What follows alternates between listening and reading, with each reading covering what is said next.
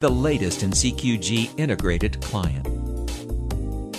Display your trade data on your chart as well as incorporate your trade data into your trading strategies. These studies can be used to graphically monitor trade data on charts, enabling you to review your decision making relative to the market performance at the end of the trading day.